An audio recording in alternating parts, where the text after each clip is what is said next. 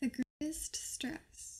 How, if some day or night a demon were to sneak after you into your loneliest loneliness and say to you, This life as you now live it and have lived it, you will have to live once more and innumerable times more, and there will be nothing new in it, but every pain and every joy and every thought and sigh and everything immeasurably small or great in your life must return to you, all in the same succession and sequence even this spider and moonlight between the trees, and even this moment and I myself. The eternal hourglass of existence is turned over and over, and you with it a dust grain of dust. Would you not throw yourself down and gnash your teeth and curse the demon who spoke thus? Or did you once experience a tremendous moment when you would have answered him, You are a god, and never have I heard anything more godly? If this thought were to gain possession of you, it would change you as you are, or perhaps crush you. The question in each and everything, do you want this once more, and innumerable times more, would weigh upon your actions as the greatest stress. Or how well disposed would you have to become to yourself and to your life to crave nothing more fervently than the ultimate eternal confirmation and seal? Living the same life innumerable times over. What is up, Artemers? I hope everyone is doing super duper well on this beautiful spring solstice or equinox. I can never remember which one is which, um, but you know, moving on. I thought it would be really fun to talk about Nietzsche's thought experiment, the eternal recurrence. It's pretty much all summed up in these super large quotes, but what would you do if you had to live your life a million times over? The same exact life. And not necessarily like a time loop situation, but if we take a look at characters like Marlon Wayans in the movie elevator wedding movie, he does get a lot of advantages because he goes through time and time and time again because he learns what everything is, where it is, who people are, blah blah blah. I don't believe that's exactly what Nietzsche's putting down here, but that would also be a really fun thing to talk about too, I can't lie. I am also really excited to talk about today. I'm turning 25. March is my birthday month. It is at the end of the month, so it's like a week plus away. Either way, I'm terrified. 25, that's the quarter life crisis classically, hopefully living to 100. But in either case, what a perfect time to talk about the eternal recurrence. I figured a more casual video would be a perfect time as it is sort of a thought experiment. It should be like a fly off the seat of your pants sort of thing, right? To explain Nietzsche's quote, what if you were to live once more or innumerable times over again without anything being different at all? Would you like it or would you do something different about it? One thing that humans often live with is regret. And so, in hearing this, I think people would often think to, no, this sounds terrible. I've been through the most ungodly, awful things you could ever think of, and I would only want a better life for myself if I could live any more life ever again. And other people would probably say the complete opposite. Yes, I would want to live this life a billion infinite times over again. I couldn't be happier with how it's been and how it probably will be. Between both of these two things, there can be a huge difference in, you know, perspective, where people come from, if you come from a lot of money versus a little, if you, you know, have had to deal with a lot of stress by choice. I think it's a lot easier for some people to say yes the eternal recurrence would be so easy to say yes to, but then the flip side does exist. What I think is the biggest takeaway here is that you shouldn't live with regret. And looking at time as a more unchangeable thing, and you know the reality that we do live in versus the potentials the thought experiment has you can't change the past And to be upset about it can sometimes just be painful and added pain to the universe that no one asks you to do.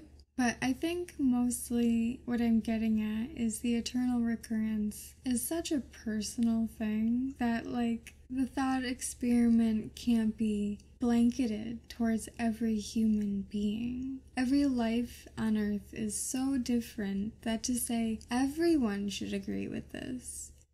I don't think so. I don't think so. Even from Nietzsche's quote, there's people who think that this would be from, you know, a curse from a demon or a godly gift from a god. What's unfortunate is how true this is. For me, being that I'm 25, quarter of my life is now gone. I would like to now speak on a more personal level. I would say, yeah, I'm I'm fine to go through life exactly how I have. It's the only way to get where I am exactly as I am right now. If you disagree with me, that's your prerogative, but realistically the only way to get where you are today is to go through every single painful thing you have in the past. As I always say, Nietzsche said, What doesn't kill you makes you stronger. And so to live with any regret about anything that's caused you pain or suffering in life does go against Nietzsche's philosophy, point blank. But does this lead to a sort of mentality that's very perfectionistic? Potentially. I know I have a very perfectionistic personality. I think the biggest thing is when you can do something about something you don't like, why not change it? Why not do what you can? Why not do the hustle culture in your own healthy, safe, not hustle culture sort of way? Why not sacrifice years of your life to go to college to then move on to a career? You know, sure, I'm in debt, but I did make lots of friends and I do have a career. So I was one of the lucky few who got what they paid for, basically. It's really unfortunate that the other side of the coin exists for everything I talk about and it always comes to mind. It's hard to even like stay on track to not talk about the bad and the good. It's all beyond good and evil. You can't change the past. I'm sorry you can't. I do want to say, in terms of maybe like being, I don't know, four years plus minus into a YouTube channel, 500 subscribers is not a lot. So maybe I can start advertising, you know, PRing, you know, not paying for, but like community outreaching. I didn't even share my last video other than Insta stories. But that's not really a regret in how much I've put effort into, you know, something that hasn't given out much because it has given out so much. It's a very small community, but it's a tight awesome community. To which in my last video I said again, I'm sorry, I'm the worst at communicating. I, I have a hard time reading. It's very ironic to my degree, and I'll tell you that.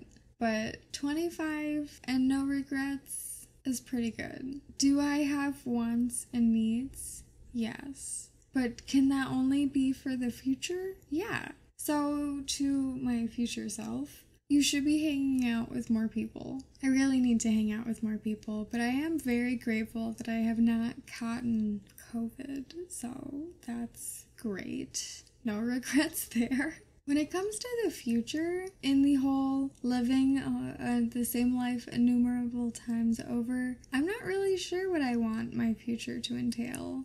I'm just looking forward, and I really appreciate what the universe suggests I think. I don't know how, how the universe works, but I like it. I think it turned out okay. When it comes to daily situations where you say to yourself, Do I want this again over innumerable times more?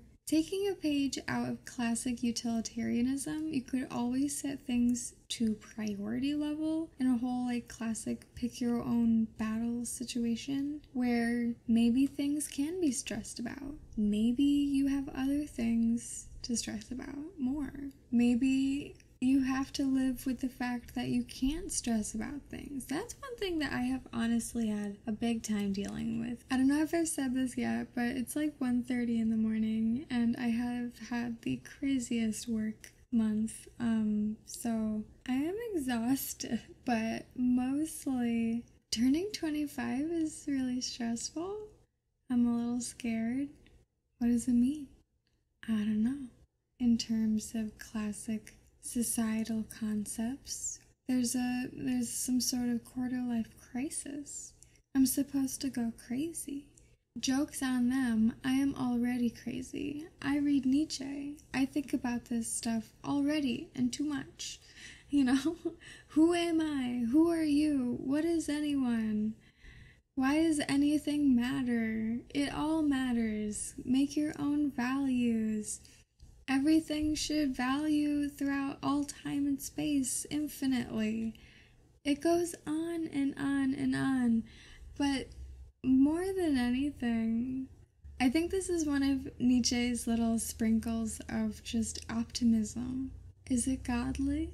Or is it a demon? He adds a lot more weight to the godly end, if you ask me. I would love to hear your thoughts on the eternal recurrence and if you would like to live your same exact life, the same innumerable amount times over but if not, if you don't want to share any details, blah blah blah, I, I totally understand, you know. It's a very personal subject when you think about it because it has to do with the deepest, darkest things you've ever dealt with. Do you want to deal with those again? If not, you'll say no. If yes, you'll say yes. It basically is a question you'd ask if people if you want to know if people have dealt with something they'd never want to deal with ever again or maybe something completely amazing that they want over and over. Either way, I think it might be too personal to ask. So, if you don't want to share your thoughts, I totally understand. But if you want to share your thoughts on the experiment itself, I am really like inspired and encouraged by Nietzsche. I've never heard of another philosopher writing about like a thought experiment.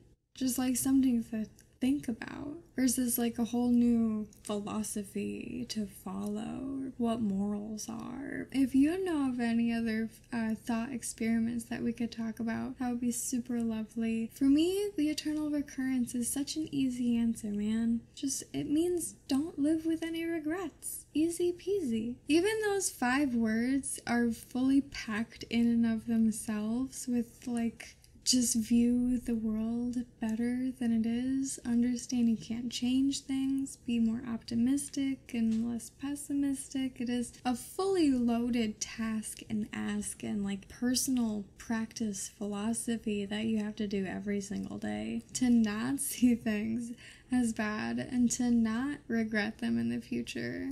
But after you've practiced that for years and years, easy peasy, no regrets. Boom. Question answered. If you have another thought experiment that you know of, I would absolutely love to wrap my mind around it. I never really say this, but I got like a series going, like Ask Artem Anything. If you have a question that you have, just hashtag it Ask Artem Anything, and I will potentially make a whole freaking video about it. Okay, I really have to go because my mouth just feels awful. So know that I love you guys and I couldn't not make this video even though it's just been literally I need to post it tomorrow, but gotta do what you gotta do. Love talking to you. We've hit freaking 500 subscribers. Like half of a thousand people follow me. That's insane. I cannot thank you guys enough, and I cannot thank my patrons enough. I appreciate you guys so much. I was gonna talk about that way earlier. I don't know what distracted me. Yeah, some about, you know, being 25, no regrets, my YouTube, lots of hard work, only little subscribers. You guys are still so awesome. Super duper awesome. If you have been watching my videos all the way up to the end, I really do super appreciate you. It also does mean you've been following my journey on my wisdom teeth. Uh, I gotta say they're they're they're hurting real bad. I'm really excited to get them out, honestly, because like I couldn't even speak normally. Like I keep making weird movements with my mouth that I don't mean to make. Um, and I keep biting my freaking lip. It's awful. Either way, I am really excited. Nine days away, so wish me luck. Oh my gosh. If you enjoyed this super, like, more chill time, I really would appreciate some constructive criticism or anything you got. With that, I bid you adieu, and I love you, and I will see you in the next video. Have to skip one uh, this summer though, as a warning. I don't know which one, but just as a warning, I might need a break soon, but I'll let you know. Alright, bye! I love you! For one of these days that will never end, that just seem to spend for hours on end, switching back and forth, 10 inch, 67 inch, 4 inch, 4K, 1080p. You're wasting your time,